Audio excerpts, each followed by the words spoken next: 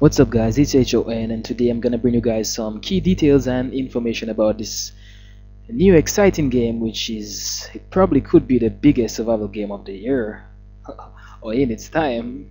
It's called Ark Survival Evolved. And it starts off with a scene straight from Jurassic Park with this dinosaur chasing down this guy. Straight to his village where it is fortified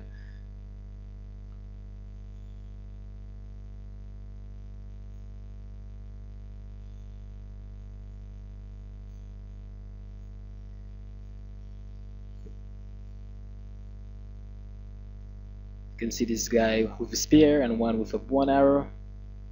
It's two guys with two weapons, a pistol and a shotgun.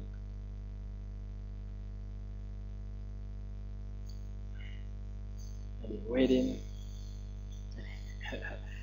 so this game looks very good. It's made of Unreal Engine 4, which is pretty good. You can see this guy wakes up in a rust-like fashion, I would say and he has that shard in his hand which has a backstory. In the distance you can see there's towers right there in the top left which is a orb, a sacrificial tower and there's one next to that dinosaur's head. They're all around the map where you go to summon creatures. So you, as you can see this is not H1Z1 you do start up with the choice of a male and a female character as you can see it looks kind of a mix of Rust and a Far Cry kind of feeling but with dinosaurs there are dinosaurs which are extinct obviously. And as you can see this guy is well let me just talk to you about the map. The map is a 48 kilometer map by 48 and it's there's also caves which makes it maybe about uh, let's say double that size because the caves are basically around below the whole map.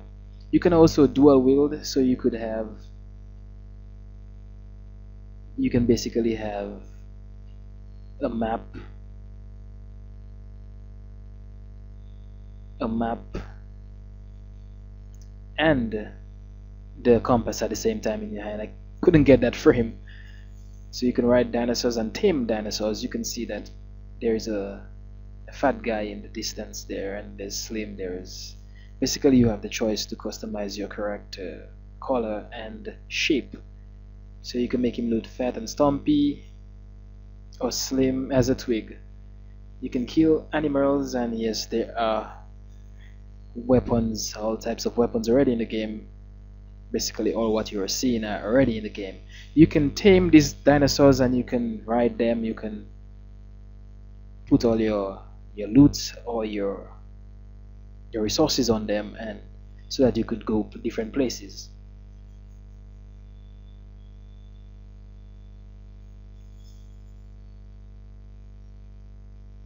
So it has all the survival elements of the game. You can kill animals and have harvest their resources. Actually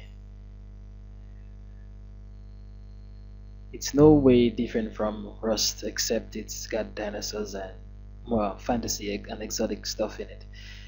As you can see there is a farming system in the top left of the building and as you can see this water tower right there actually you will see it change from shape because you can you are able to upgrade your towers your your resource um, your resource your resource miners also and upgrade them to metal. As you can see it will turn to metal. As you can see it turns to metal. And at the top of the top of the base you can see there is something like a turret but it's not a turret. And you can see the the tribe has its its flag at the top also. Now I'm not sure if the turret is auto or manual but it's you'll be able to put harpoons in it. Well it's, it's basically a a caveman turret. You are able to make signs just like rust and write whatever you want on it.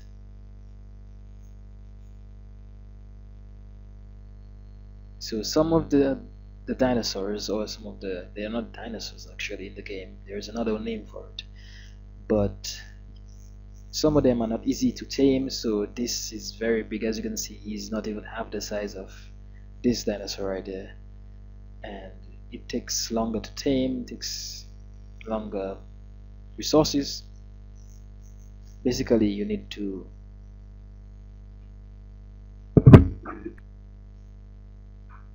well you need to um, fight the dinosaurs and put them in a basically unconscious state and you need to rehabilitate them and feed them. And actually depending on your level you'll be able to command them different.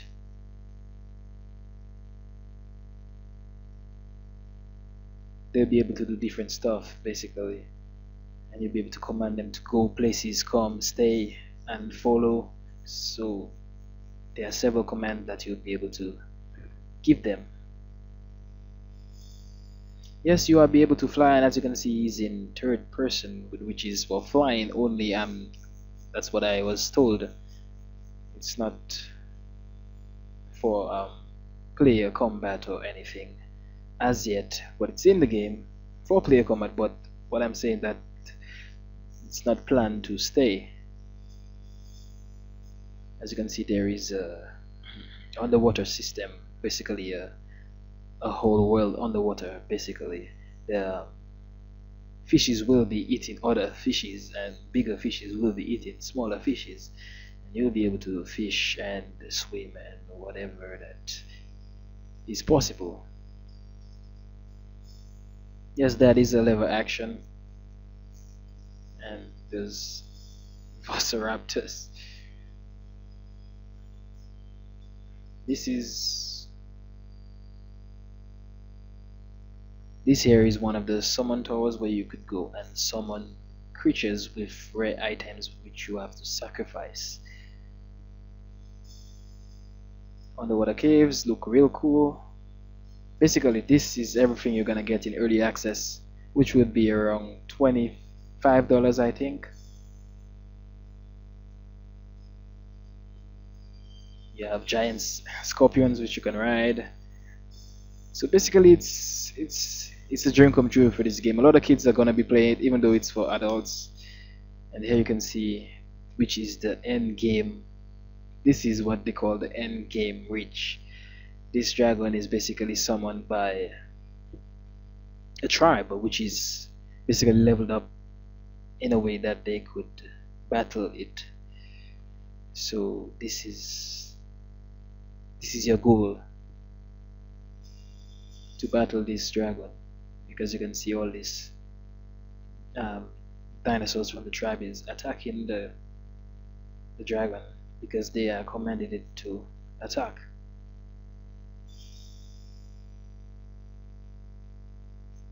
So that's basically it for today if you want some more information I'll most likely be able to give you that and give you a weekly digest which will be simplified. Thanks for watching. Please subscribe. Peace